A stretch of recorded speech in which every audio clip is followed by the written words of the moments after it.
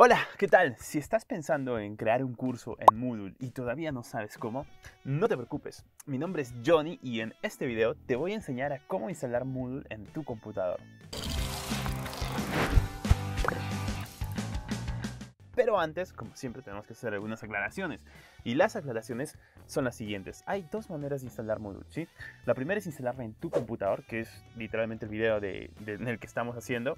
Y la segunda es instalarla en un servidor, ¿no? Obviamente, si tú vas a dar tu curso para muchísimos alumnos, siempre vas a tener que tener el Moodle en un servidor que esté activo. ¿Sí? Así que bueno, si quieres que hagamos un video de cómo instalarlo en un servidor, por favor dale clic acá abajo o coméntanos más. Y bueno, vamos ahí. Ahora, para instalar Moodle en tu computadora, lo primero que tienes que hacer es venir a moodle.org. Una vez que estés en moodle.org, vas a ir a la parte donde dice Downloads. En Downloads le das clic acá en Moodle 3.11.4 y listo, bueno, le das clic acá en Downloads y acá te van a aparecer dos para instalarlo en dos versiones, ¿no? En la versión de Mac OS o en la versión de Windows, ¿no? Entonces si tienes Windows, obviamente le das clic en Windows y una vez que estés acá vas a tener varias versiones, ¿no? Tú tienes que tener en cuenta que siempre debes de elegir una versión estable, ¿no? También puedes elegir la última, no hay problema, pero tienes que saber que si eliges la última te la juegas, porque pueden haber pequeños errores o algunas cosas que todavía no están al 100%. Entonces, para evitarnos problemas, lo que más te recomiendo es que te bajes la versión estable, ¿no? Le das clic en Download Zip y ahora te va a aparecer el descargando, ¿no? Y bueno, ahora sí tienes que esperar un momentito hasta que descargue. Bueno, y una vez que termina de descargar, literalmente lo único que tienes que hacer es descomprimir esta carpeta, ¿no? vamos a extraerla en una carpeta en unidad. Tú tienes que tener claro qué carpeta vas a hacer, pero bueno, vamos a crear una carpeta que se llama Moodle en unidad entonces lo vamos a extraer ahí. Y esperamos a que extraiga, ¿vale? Listo. Bueno, ya terminó de extraer y ahora lo que tenemos que hacer es ir hacia donde hemos extraído esta carpeta, ¿no? O sea, en la unidad D, donde dice Moodle y nos va a aparecer estos, estos archivos, ¿no? Ahora, es súper fácil instalar Moodle porque literalmente lo único que tenemos que darle clic es en Start Moodle, ¿no? Y va a empezar a desplegar el servidor que se llama SAM, ¿no? Este es un servidor que va a desplegar Moodle sobre nuestra computadora.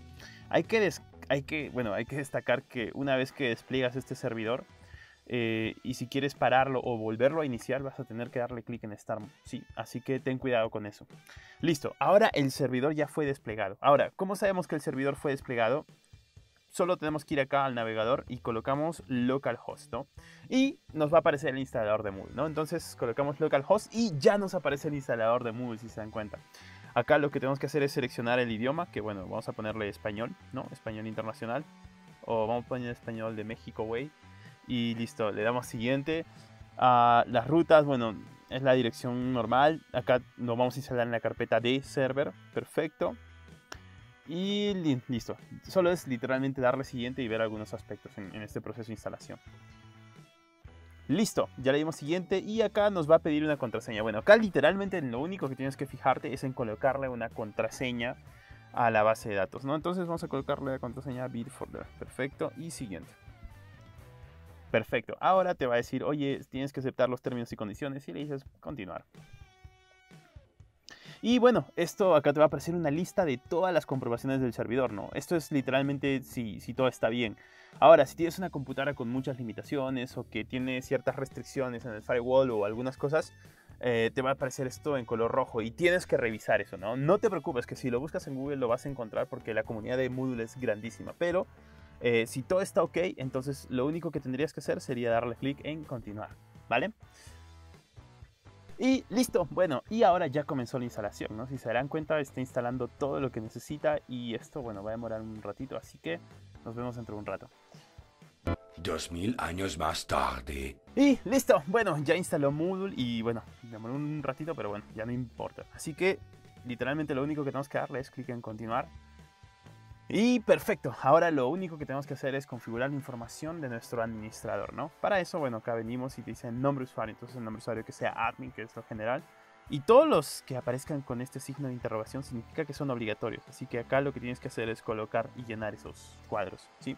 Vamos a ponerle la contraseña que va a ser bitforlearn. El nombre administrador que va a ser Johnny. Ah, bueno, el apellido, vamos a colocar todo eso, ¿no?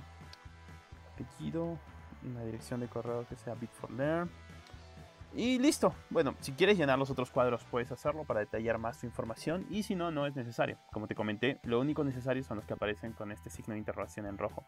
Y le das clic en actualizar información personal. A ver, ¿qué me dice? Me dice, oye, tienes que tener un carácter alfanumérico especial. Bueno, acá hay un problema entonces. Y vamos a cambiar entonces esto. Vamos a colocarle una contraseña que sea súper segura. Listo. Y vamos a colocarle un carácter alfanumérico que sea así. Ya está. Y listo. Ahora sí. Bueno, ya configuramos lo que es la configuración del usuario y ahora lo que vamos a hacer es configurar la imagen de portada del sitio, ¿no? Acá le ponemos un nombre para nuestro, nuestra academia, le vamos a poner Bit4Learn, nombre corto, bueno, vamos a ponerle Bit4Learn igual, un resumen de portada, ¿no? Vamos a poner una prueba de resumen de portada. Y acá, bueno, ya nos dice la ubicación. Esto, bueno, vamos a colocarle... Esto. Vamos a colocarle Panamá. Bueno, gestionar autentificación, deshabilitar y guardar cambios, ¿sí? Listo, ahora nos dice que hay, hay, un correo de salida que no es válido. Vamos a colocarle el de Bitforner y guardar cambios. Y listo, ya lo tenemos instalado. Y como ustedes pueden ver, acá literalmente ya tenemos la interfaz de Moodle instalada en nuestro computador. Ahora, si ustedes quieren saber, porque bueno, vamos a hacer un video, o pueden ver el video que está acá en la tarjeta que les vamos a dejar de un pequeño recorrido por la interfaz. Pero bueno, ustedes ya con todos estos pasos que hemos hecho en el video, ustedes ya pueden instalar Moodle en su computadora. Y bueno, si quieren conocer un poco más de Moodle o tener acceso a más plataformas o conocer más plataformas, no olviden de suscribirse a nuestro canal porque vamos también a sacar varios cursos de cómo implementar proyectos y learning, cómo vender cursos.